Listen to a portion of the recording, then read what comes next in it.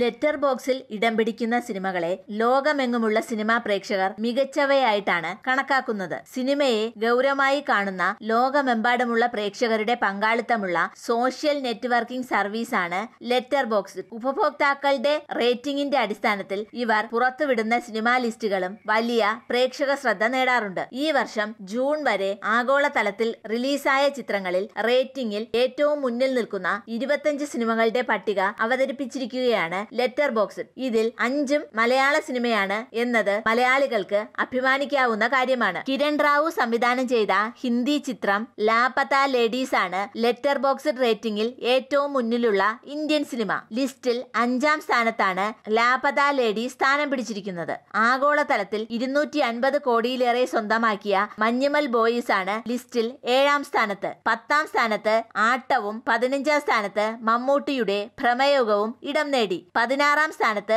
ഫഗത് ഫാസിൽ നായകനായ ആവേശം ഇരുപത്തഞ്ചാം സ്ഥാനത്ത് സർപ്രൈസ് ഹിറ്റടിച്ച പ്രേമലുവുമാണ് ഉള്ളത്. ലെറ്റർ ബോക്സ് റേറ്റിംഗിൽ എല്ലാ രാജ്യത്തും തിയേറ്ററിൽ റിലീസ് ചെയ്യപ്പെട്ട സിനിമയും ഒ ടി ടി സ്ട്രീമിംഗ് ചെയ്യപ്പെട്ട സിനിമകളും പരിഗണിച്ചാണ് ലിസ്റ്റ് തയ്യാറാക്കുന്നത്. ലിസ്റ്റിലെത്താൻ ഏറ്റവും ചുരുങ്ങിയത് രണ്ടായിരം റേറ്റിംഗ് ആവശ്യമാണ്. സിനിമയെ ഗൗരവമായി കാണുന്ന ലോകമെമ്പാടുമുള്ള പ്രേക്ഷകരുടെ പങ്കാളിത്തമുള്ള സോഷ്യൽ നെറ്റ്വർക്കിംഗ് സർവീസാണ് ലെറ്റർ ബോക്സ്. ഈ വിഷയത്തെക്കുറിച്ച് നിങ്ങൾക്കും പ്രതികരിക്കാം. നിങ്ങളുടെ കമന്റുകൾ ഈ വീഡിയോയ്ക്ക് താഴെ രേഖപ്പെടുത്തൂ.